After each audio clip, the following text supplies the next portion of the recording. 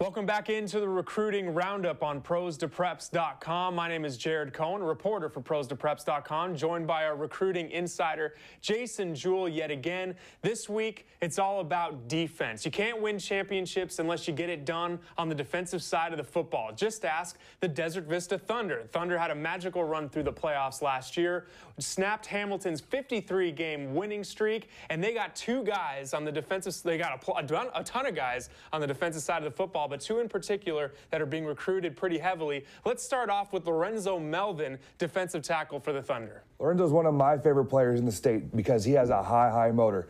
He got eight sacks last year. Right now, he's about 5'11", probably 240 pounds, probably what's keeping him from being recruited at the high Division One level. But right now, he has four Division One AA offers: Western Illinois, Northern Northern Arizona, uh, South Dakota State, North Dakota. Those kids are all, schools are all over him.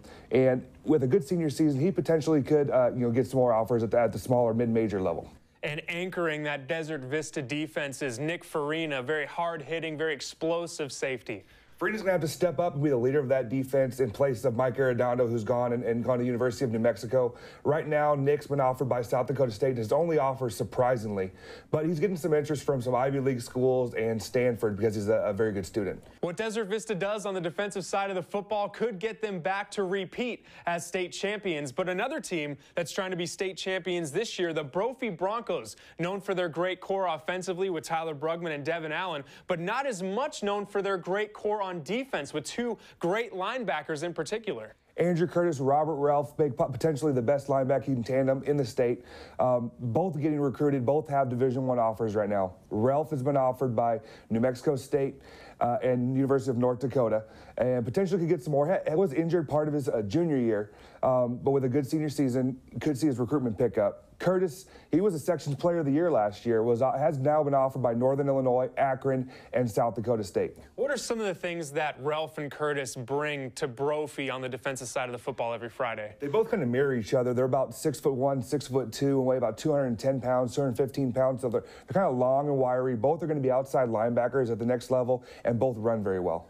Well, those four players are going to be standouts in the state, but they're only representing two of the schools. There's got to be a lot of other great defensive players around the state representing a ton of other schools going into this season. Well, still representing De Desert Vista, Jarek Hilgers plays running back for the Thunder, but potentially at six foot, 220 pounds, could be a middle linebacker. But other guys you want to look at, cornerback slash safety, Ryan McKinley out of Boulder Creek. He has six one AA offers right now. Uh, Matthew Brindley, another safety, a little bit undersized. He's been offered by South Dakota State already. Those are uh, uh, three kids right there that I like that potentially will get recruited more later this year. And then here on the Recruiting Roundup, we do our best to give you the latest recruitment commitments out of the state of Arizona. The latest one happened a couple weeks ago. A 2014 offensive lineman, Casey Tucker out of Hamilton, he's committed to play for Lane Kiffin at USC. Huge commitment for the Trojans. Uh, Tucker is my number one prospect out of the 2014 class. Big kids that can play and can run like him get recruited heavily. You know, he's about six foot five, six foot six, 275 pounds, and he's mature beyond his years. He has great technique, technique you don't you typically see from a junior. Well, that'll put a wrap on this week's edition of the Recruiting Roundup on pros2preps.com. For Jason Jewell, my name is Jared Cohen. Tune in next week here on pros2preps.com.